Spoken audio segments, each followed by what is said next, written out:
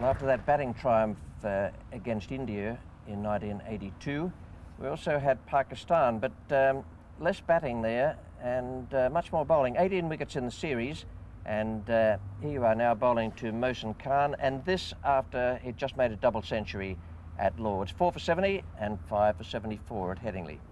That could be out.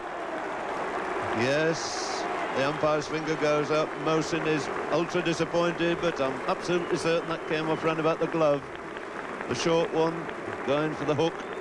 And Mohsin Khan goes for 10. A great blow this by both Botham for England and Pakistan are 16 for 1. Oh, he's bowled in with a beautiful in-swinging Yorker. Really was a fine delivery, beaten uh, in the air by late swing from Botham. Oh, that's out. Tom Willis stooping low, takes a good catch at uh, mid-on. And the bouncers worked again for Ian Botham. Ehteshamuddin facing Botham.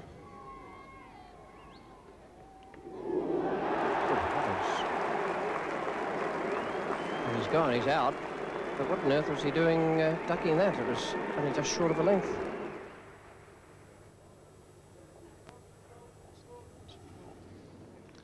That's it this time. Botham's made it. Javed Miandad's gone. Another superlative catch there by wicketkeeper Taylor.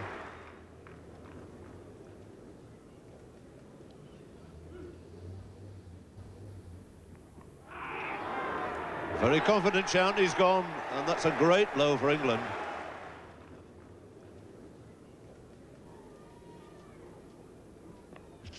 He's gone. That's well bowled by Botham. He deserved that he was constantly beating Mansoor Akhtar past the outside edge. David Gower at first slip. And that is the break England wanted. That's a great performance by England today.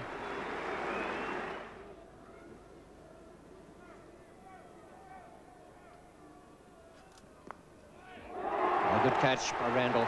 Well, in that uh, Headingley match, England won by three wickets. I remember it as a most exciting game where the uh, Pakistan skipper wasn't quite game to bowl uh, Abdul Qadir as uh, the climax approached. That's right, yes, and maybe there'd have been a different result.